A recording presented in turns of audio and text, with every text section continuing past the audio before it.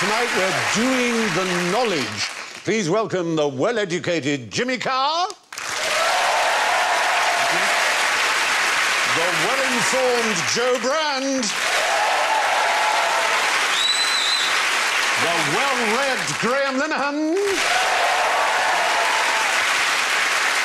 And the well, you know, it's Alan Davies.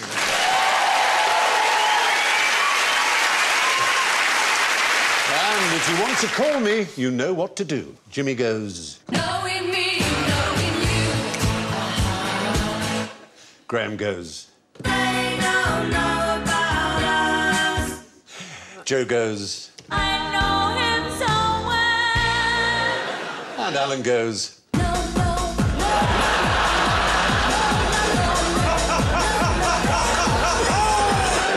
There's a spelling issue there. I know what you want to know. Once and for all, how many moons does the Earth have? Nobody knows. we're not doing that this year. No, we're we? not. Three. Oh! What a pity. What a pity. One. Just because it's called the moon doesn't mean it's the only one, it turns out. The moons, it would be called. oh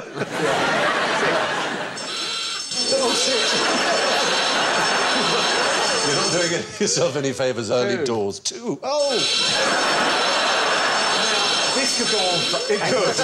So let me stop you right here. The point is, uh, in, in very, very on in the A series, we said there were two. Are you taking that back? Yes. What do you mean? Ah, this is. I this- rely on this show. This is all I know. This is the whole, this is the whole point of this round, in fact. Facts are not permanent. We thought there were two, and then we said, oh, no, it's either one or five, we said in the B series, because we were acting on the latest info that we had from the scientific community.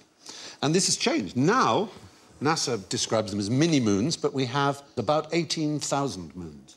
I thought it was the same moon.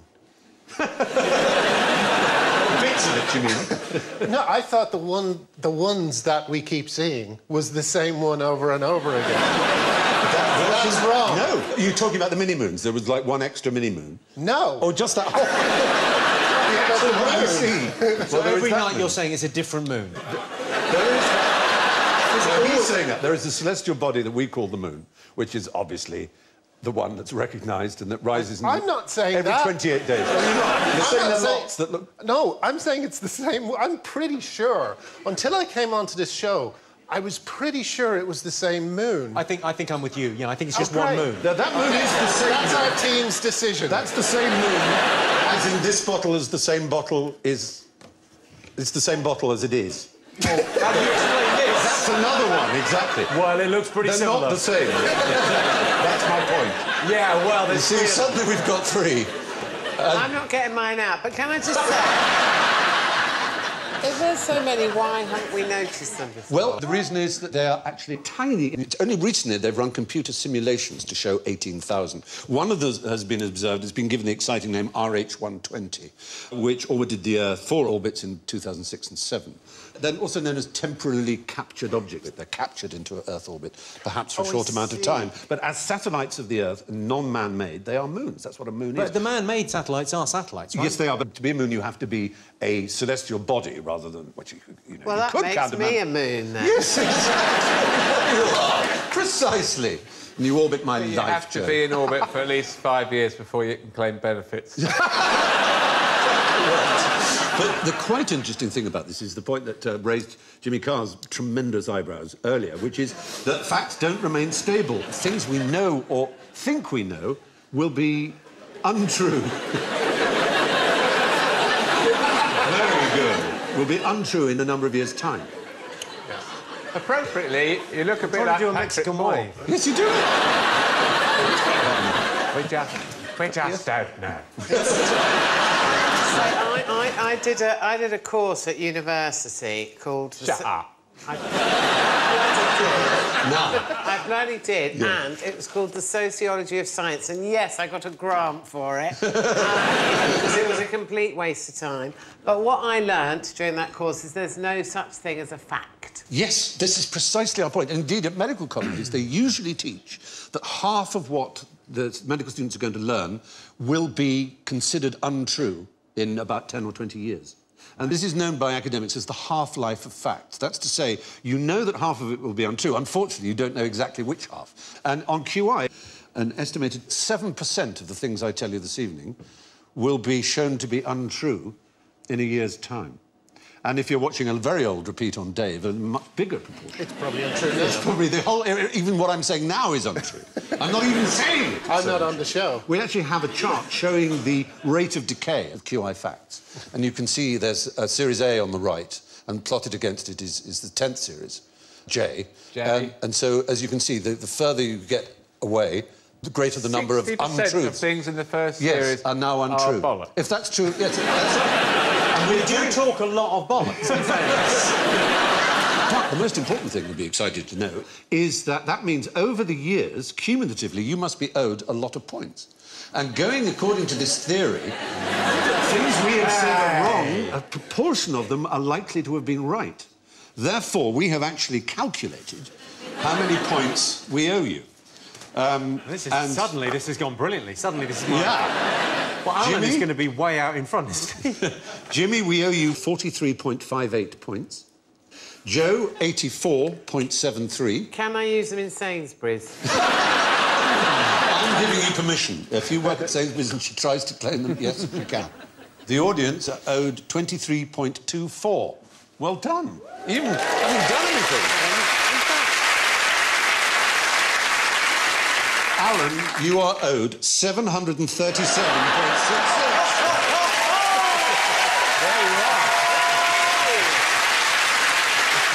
And um, are those are those transferable? If I want went on to have, have I got news for you? Could I use? Yes. Could I? I think I've got 24 points Yep. that I could use You can here. take this. Yes. I can just. Use oh, them. no, fabulous. Yeah, yeah. Ian, Mastermind, can I have it on master?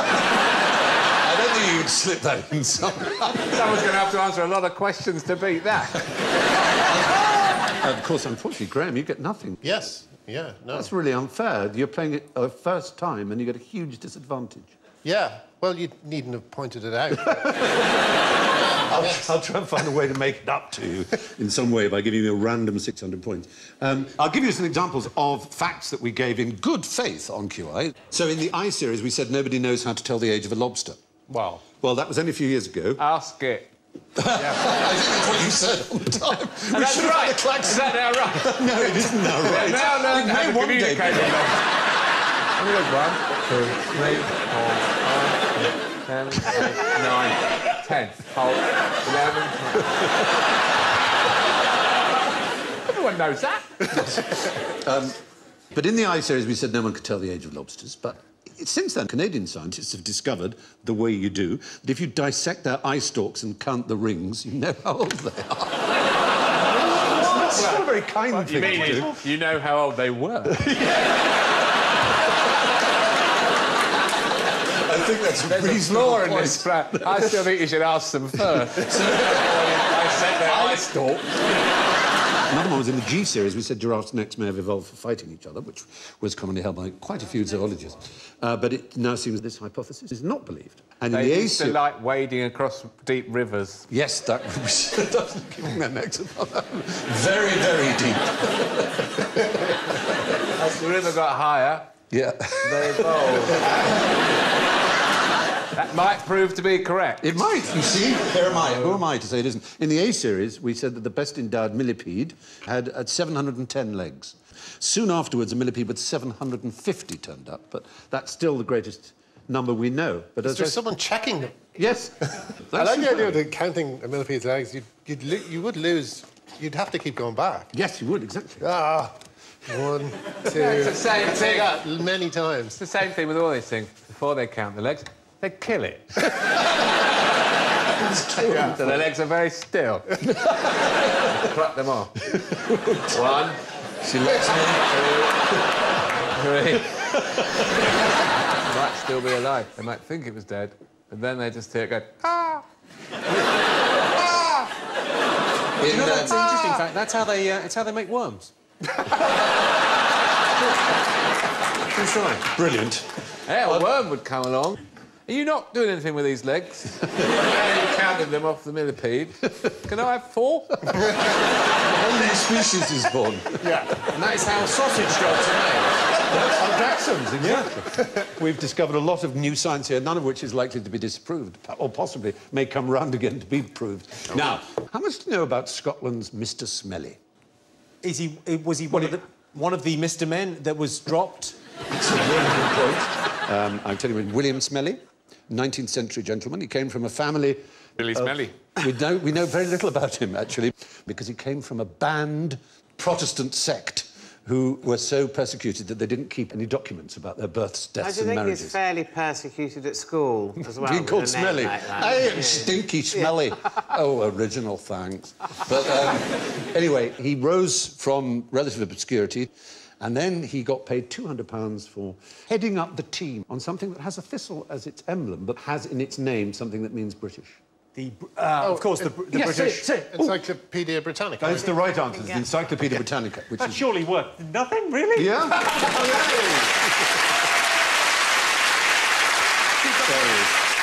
Surely it was easier to do that in the days before the internet, though. yes. If you try to research now, you get sidetracked. I get very sidetracked very easily. Yes, I'll just get to. I'll just get a B for bras. Oh. it's a day lost. I hate Encyclopedia Britannica because I had very aspirational parents, and Ah. everyone else in my class was reading Jackie magazine. Oh. And I had to read bloody Encyclopedia It was such a Britannica. symbol of that, oh wasn't it? Oh my God. It's like a dictionary that sort of just won't stop. It won't. You get the word and then goes, and another thing. Here we go. It is discursive. It's very true. Another of its early editors was called uh, Andrew Bell, who was four and a half feet tall and had a very big nose, as you will see. Oh. Looks slightly like me, rather I think. disturbingly. I'll be honest with you. I think that's a regular size nose on a tiny man. Um, uh, he had a great sense of humour, though. If anybody pointed out or laughed at his nose, he would rush off into another room and come back with a bigger one made of papier-mâché. I bet he could tell when Mr. Smelly was coming. Though. I tell you what. I tell you what I know about that guy. Yeah. Very little. Hey! that is quite good. I had to think about that. anyway, uh, the first edition of Encyclopedia Britannica took three years to write, cost £12 for three volumes. The Three first- volumes. The world's knowledge. Yes, but the first volume is A to B. you obviously thought, oh, sod this. Done need to B, I would have got one volume.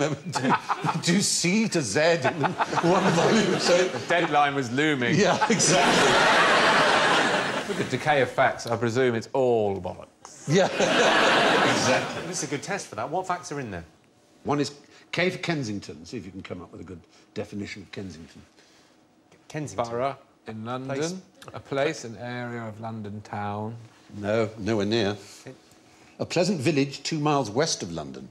Which is what it was then, you see. Wow. And California here is spelt with two L's, and it's called the large country in the West Indies. Possibly an island or a peninsula, it's not known.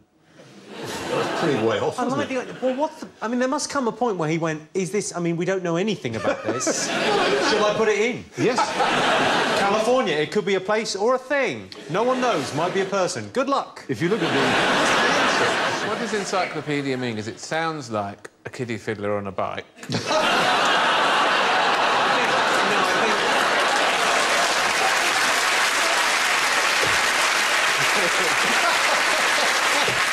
There's a big Greek difference between P-A-E and P-A-I, but paidos and paidos. But it is very tricky, I grant you.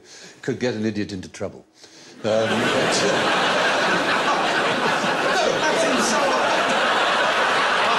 I didn't in that way. what you're laughing at? Um, the entry for woman in the original version just says the female of man, see homo. He will tell you everything you need to know. Because he's their best friend. um, applause is defined as following an approbation of something signified by clapping the hands, still practiced in theatres. In the 1960s, an American called Dr. Harvey Einbinder, who so hated the Encyclopedia Britannica, he wrote a book. Exactly. He wrote a book where he listed all the things that were wrong in it. It was 390 pages long. Oh, I like the sound The of myth him. of Britannica. What's his name? Harvey Einbinder. Does he only have one We binder? meet at last, Mr. Einbinder. He's a massive binder. Don't touch my binder! Maybe that's why he hated. This is the binder you seek. Encyclopedia Britannica has 52 binders, and I only have I'm binder! He might have pronounced it I'm Binder for all I know. I'm binder. William Smellie was the first editor of the Encyclopedia Britannica. What did the inventor of the thermometer spend 30 years measuring? I'm going to say temperature, OK? Oh! you know what? You've got points to burn. Sometimes it's right, you know, sometimes it is It's true. true. Exactly. I know a joke about thermometers. It's about nurses and thermometers.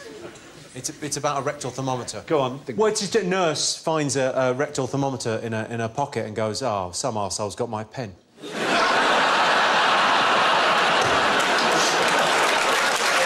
an old joke. An old Very fine, Ray. Very fine. One very old nurse's joke that we used to was that a nurse comes running in and says to the matron, "Oh dear, I think I've got something the wrong way round. You asked me to prick someone's boil." Very good. I do know quite an interesting fact about um, thermometers. Thermometers? The, the difference between um, an oral and rectal thermometer. I hope you do know the difference. Taste. No, his, his name was Sanctorius Sanctorius, at least that was his Latinized name. He was from Padua, and there you can see him. Right. He's weighing himself. That's a special weighing balance he had created. Every single day he'd weigh himself and the food he ate, and indeed the feces and urine that he expelled, he excreted. Was it some sort of weird Weight Watchers thing? Well, what he discovered is that um, his urine and feces weighed only a fraction of what he'd eaten and drunk, and, uh, but despite that, he stayed the same weight, which is amazing. He, he thought. He thought, why is it I put in, say, 100 pounds of food, but I poo out only 30 pounds of, not taking of feces? 30 years. Does it not work out that there's a fuel thing? It is easy to look back at past generations and say, how can you not have known? But of course, none of them knew. And really, uh, before people like him, who's almost one of the world's first scientists, but- they hadn't measured and calibrated things. You're absolutely right about all of those things. Well, as right as we know. However, Yeah. 30 years. I mean, really, after three years with the Oh, same. no, he had a theory, but his oh. theory was wrong, that's all. His theory was that the rest came out of your skin, so it was very dangerous to cover most of your skin because you wouldn't let the poison out. He knew that faeces was poisonous, at least toxic and bad for you. With smell is a big warning, obviously. Sorry, your feces smell. Parma violets. yeah. Jimmy's making noise. Point at it. he emits a totally different. so it's very unusual. It's one in a million people who have noisy teeth.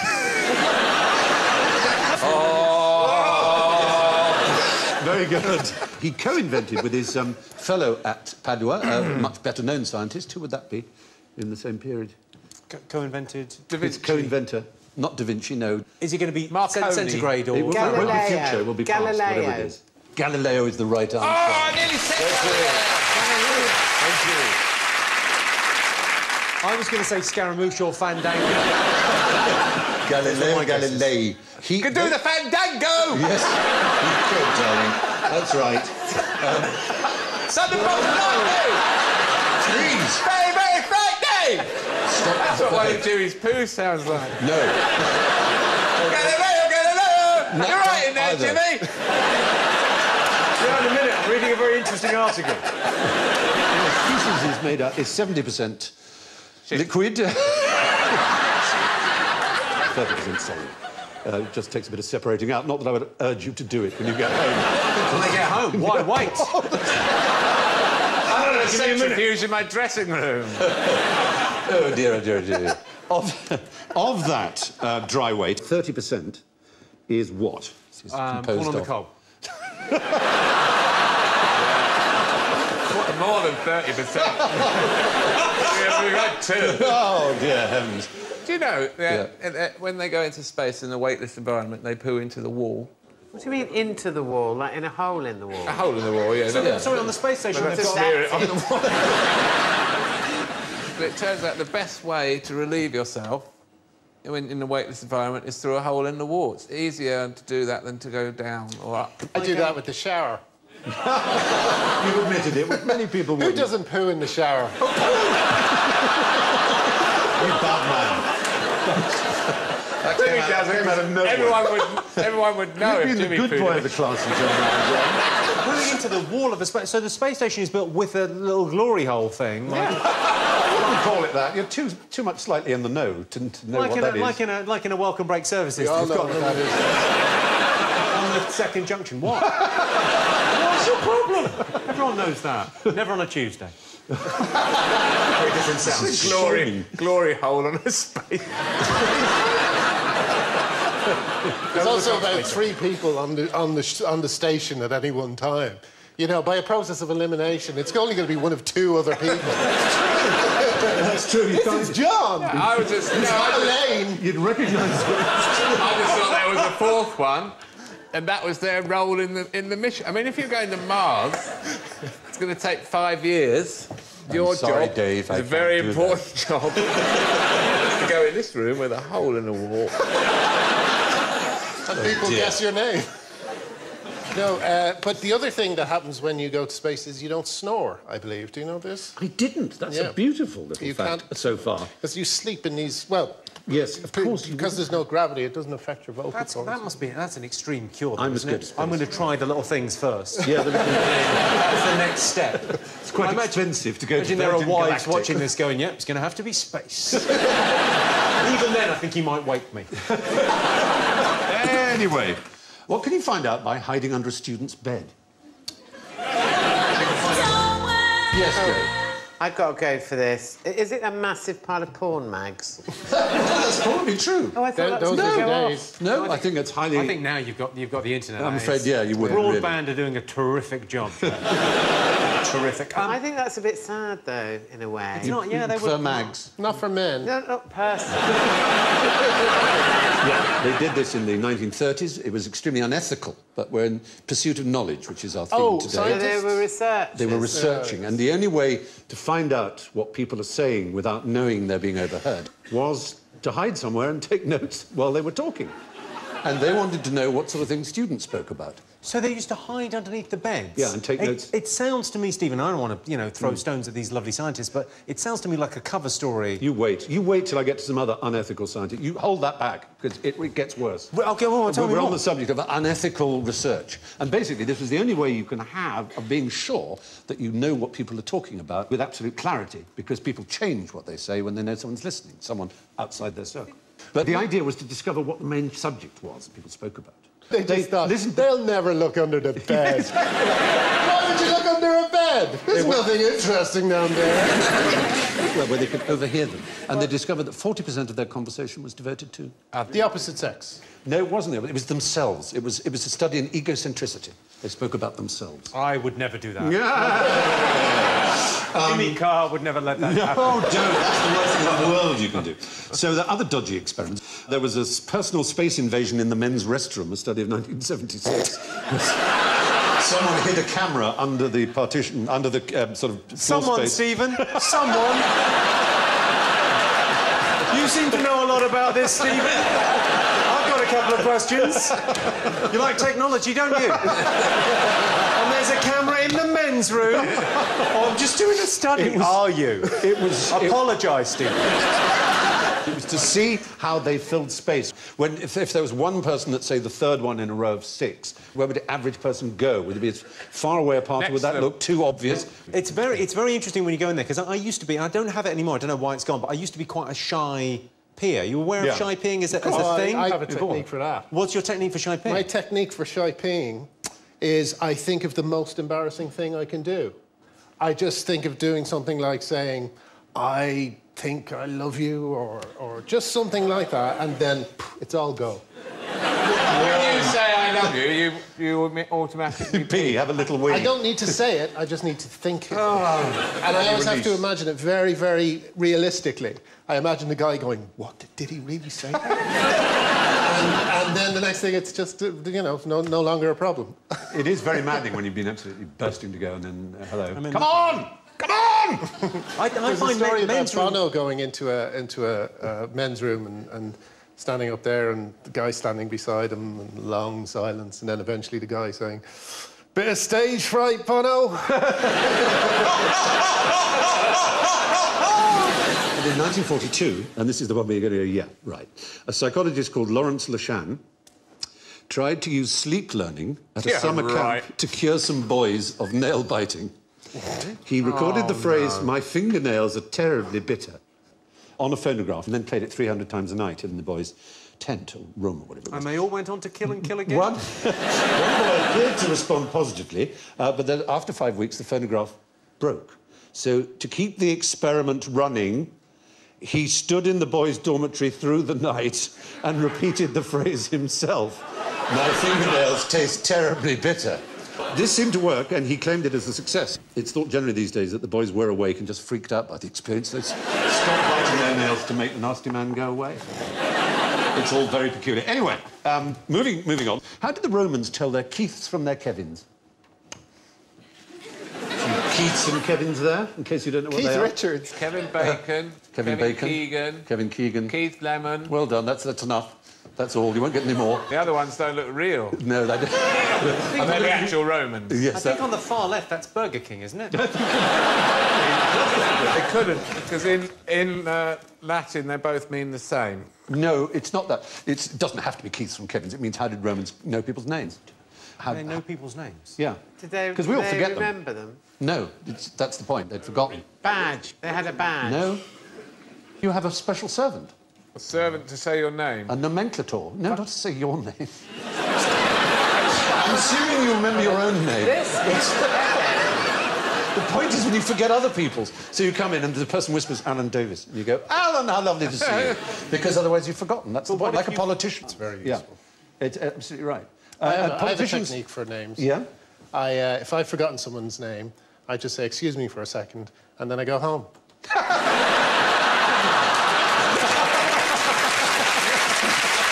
Every time. You're the nom- nomenclature, Yes.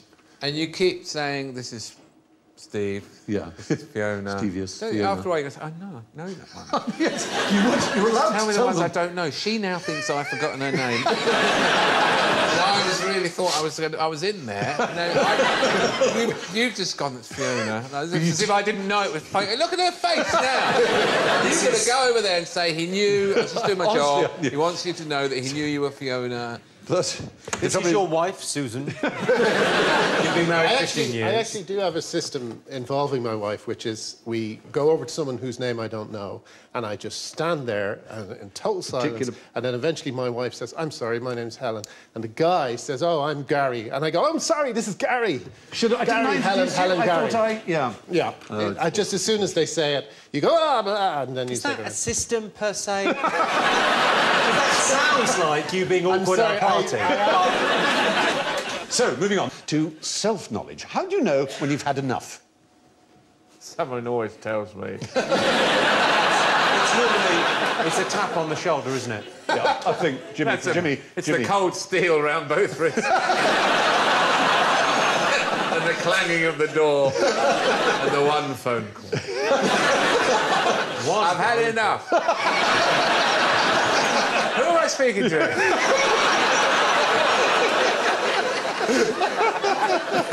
Oh dear. Are, we, are we talking food here? We are talking food. Yeah, yeah. Um, I, I don't really. No, the fact is that this, this is about knowledge, and it's um, you think you're full, as it were, you know you've had enough, which is obviously not knowledge; it's memory. You can test this on people with short-term memory loss. I, I mean, amnesiacs who immediately forget what's just happened. And if- Sorry, what were you saying? Exactly. Thank you very much. So there are people who have this condition. They forget that they've eaten, uh, of, say, 20 minutes, half an hour afterwards, and you ask them if they'd like to eat, and they will eat three or four heavy meals when they're obviously completely stuffed because they don't great. remember eating. They literally don't remember it. And there's a trick you can do with a bowl of thick soup, which has got a clever little mechanism on it, so that while people aren't looking, it fills itself up again or empties itself ahead of time. So people think they've had the full bowl of soup when they've actually had less, or they've actually had a lot more. I've got a similar device for desserts, which is it's uh, my girlfriend. She won't order one, but I'll order one, and then it just goes missing. it works with chips as well. Very good.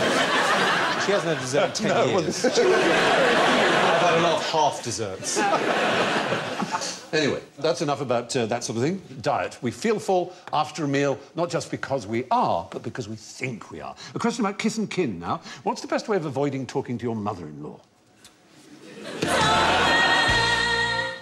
yes, Jeff. Removing her vocal cords That's with the best some way of- That's the best way of avoiding her talking to you. That's well, lean into the kiss. oh!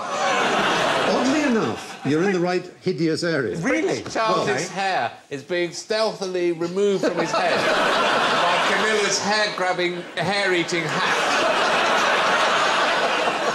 and she's, go, it's like she's operating it triffy. slyly with her hand. and the hair has been sucked into that hat. She's looking down at the hat dial. devours it. Like, if you don't like your mother-in-law, what's what hope is there for you? It's a, I, w- I view the mother-in-law as it's Christmas future. Yes, that's true. If you don't like your mother-in-law, you're in all kinds of trouble 20 years down the line. That's that's what you're Yeah. buying into. My mother-in-law makes absolutely no sound when she moves. It's remarkable. Like Jeeves. She is the stealthiest person. You've got a stealth mother-in-law. Honestly? she sprayed black? She could be a brilliant spy, you know. you might be in a room and you're looking at a thing or something, and then suddenly she goes, "Hello, oh, Pig! come from? Where did you come a long way from the door. Anybody would have gone, made a little noise. Uh, nothing. Oh, that's terrible. It's like the famous story of the boy who was, you know, having a uh, play with himself in his bedroom and with his By, eyes by- closed. by the way, I was not doing. I was No. not playing. Does- story before you does- conflate the No, and had it's a true. How was, what was that story on that thing where but Alan know- dated his mother-in-law? Let's just separate Yeah. those two things. But he closes his eyes in bliss, and when he when he opens them afterwards, he just finds a cu- cup of tea next to him. You thought, well, your father always likes a cup of tea after. and a the biscuits.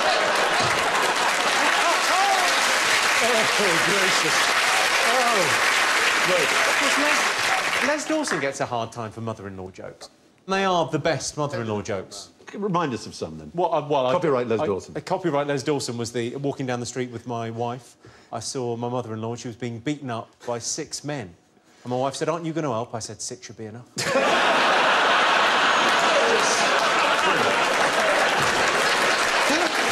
Just a the weird, it's for, like, for when I was growing up, when I was sort of starting in comedy, it was like he was like, "Oh yeah, he just tells mother-in-law jokes." I know, he was You frowned on. Sort of a My genius. favourite one Oh, he was- was a complete genius. The mother-in-law came around. Yeah. The mice were throwing themselves on the traps.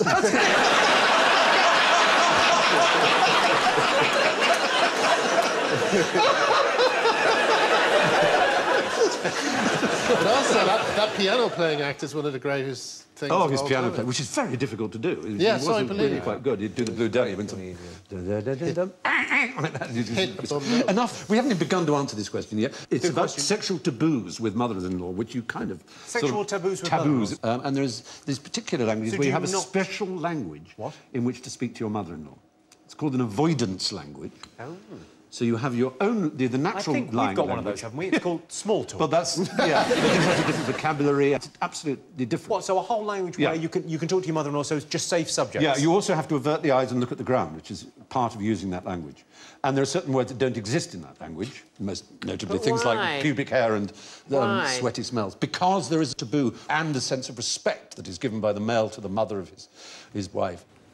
It's in Australia. There's some Aboriginal peoples who have these avoidance languages. Um, and it's, it's really fascinating, isn't it? I mean, in Japan, they have a special language when talking about the royal family, for example. Is there a, a, a phrase for you've spilt the Tipp-Ex?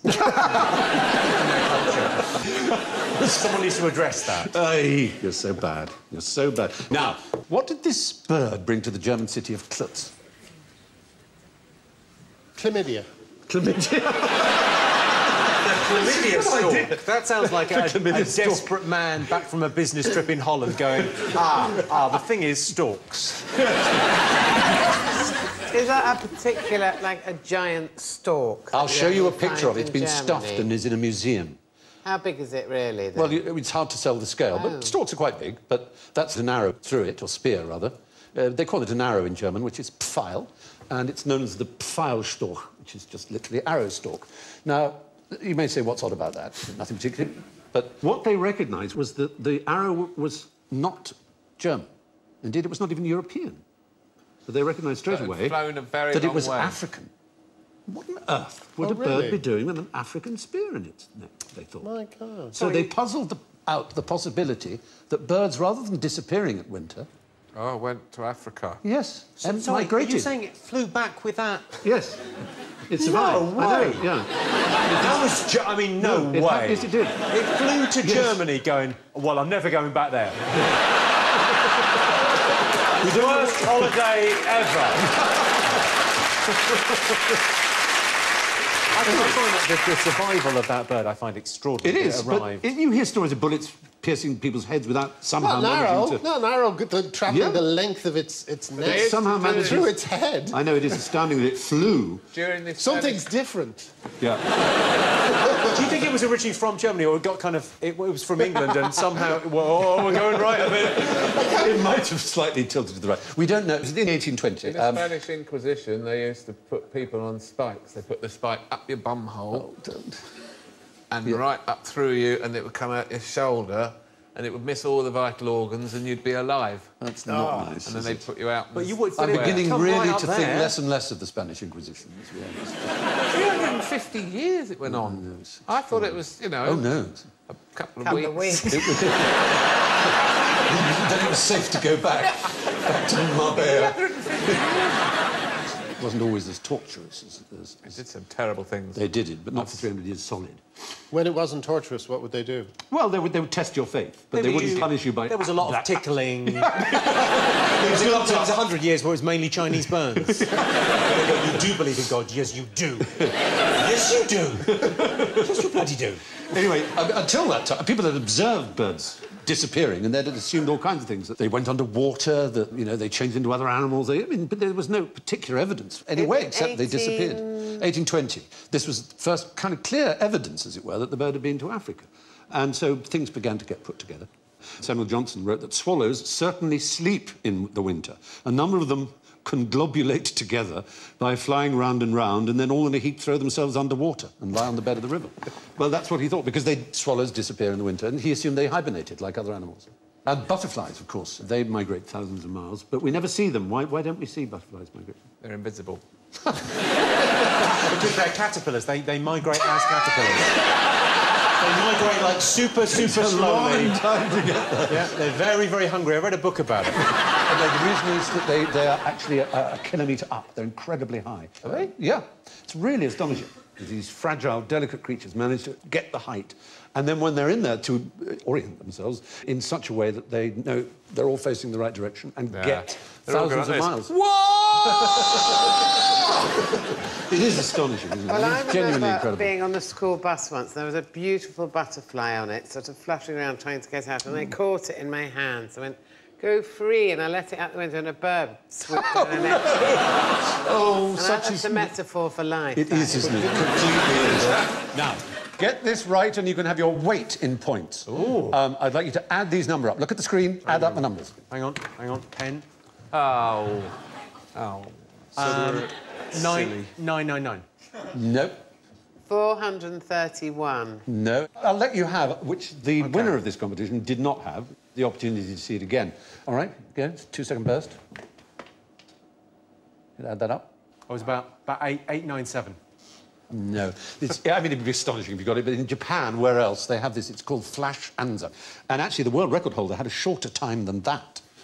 You have to correctly add 15 three-digit numbers, and he did it in 1.7 seconds. Now, there's a particular reason Japanese people I, are very I good at this. I think I know the reason. It's Yes. in Malcolm Gladwell's book. It's because of how they process, how the language processes numbers. There is a strange thing in Chinese and Japanese, Yeah. uh, in both languages, with the number, if you say the numbers together, it automatically adds them up, sort of linguistically. Yes, but there's a really interesting addition to that, which is that what they're doing, and you could, their fingers are the giveaway, they do this. What do you think that is? That. That is a living one of those.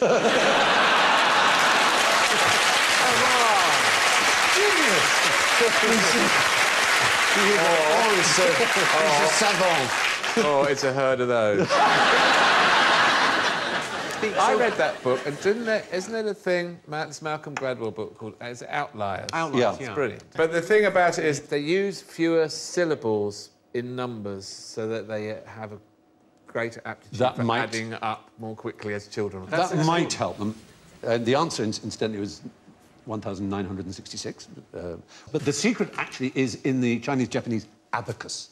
Are they actually doing the action of the abacus? Oh, and the more amazing thing, perhaps, is that at the same time, they can have a conversation with someone. Because it's another part of the brain that's being engaged. And they'll say the answer, but they won't remember a single one of the numbers they added up. And actually, I, I thought about this. and I thought this is just crazy. But I've got a composer friend who came round to my house, and I had a, happened to have a full orchestral score of Don Giovanni on the piano. And he, yes, don't course stop. you well, did. I did. Wait, people do. And anyway, he just opened it like that, and he started playing it, and sight reading it like that on the piano, and and talking to me about it. He it's "This bit where it does that," and I suddenly took apart what he was doing. It's not written out as a piano score. It's written out as violins, oboes, flutes, cor anglais, which you have to transpose in your head while you're doing it, because it's written in a different key from the rest of everything else. So he's doing that and playing a beautiful transcription of, of an orchestra and talking to me. Well, the people that do that, they're slightly magic. Yeah, And That's just, I agree. And that's a spell they're saying. Yeah. I go, yep, fine, I I'll believe buy that. Might as well be. I know, conductors, trained musicians. It is 10,000 hours. 10,000 hours. That's it. The Beatles, Mozart, all of them, as we know. We think um, it's a very convincing um, um, I've done 10,000 hours of this. sitting around vacantly and you're really getting good at it now. being wrong about stuff. Uh, which brings me to some very complicated adding up of my own, as a matter of fact. Oh, my gracious goodness heavens. The scores are unusual because um, we have, of course, been giving scores to make up for our errors on account of the half-life of facts. So, in last place, I'm afraid, it's magnificent for a first appearance. Minus 19, Graham Linehan! Congratulations. In fourth place, with 23.24, it's the audience! Well done! And in third place, So I'm with... behind the audience. Yes, I'm so. It's Star deeply Wars unfair. I'm on the show.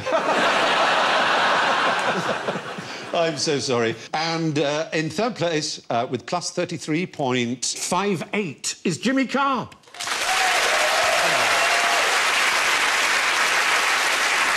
Second place, with plus 85.73, Jo Brand.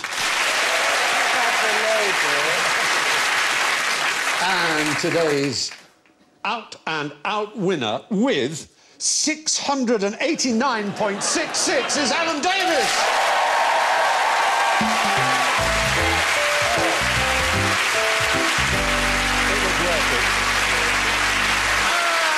So it's thank you and good night from Graham, Jimmy, Jo, Alan, and me. Be useful and lovely to yourselves. Good night. Stephen Fry's out there confronting prejudice, a powerful look at being gay throughout the world on BBC iPlayer. Here on BBC Two next, Sarah Cox calls the shots on Buzzcocks, or head over to BBC Three now for more laughs right through until midnight with American Dad.